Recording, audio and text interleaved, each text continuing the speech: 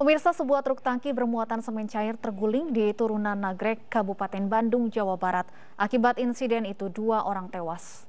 Truk yang melaju dari arah Bandung menuju Garut mengalami kecelakaan pukul 12 siang tadi. Kecelakaan bermula saat mobil menuruni turunan Nagrek namun rem tidak berfungsi hingga akhirnya truk menabrak pohon dan terguling. Dua orang penumpang truk tewas di tempat kejadian, satu korban telah dilarikan ke rumah sakit.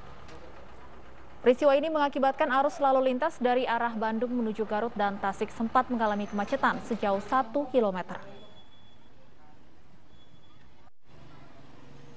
Langsung nabrak atau kayak gimana sih? Iya, di sana oleng, long rem, juralit. Nah, iya. Ini lagi evakuasi korban kan? Ini lagi korban dibangkat, udah dibangkat satu. Satu tadi dibawa ke mana Pak katanya? Ke ini selain K tuh. Ini kesulitan Pak atau kayak gimana? Nah, ini kesulitan. Ngapa karena itu gelap tuh nggak ada Kejepit. kejepit ini nyampe tangan sampeannya.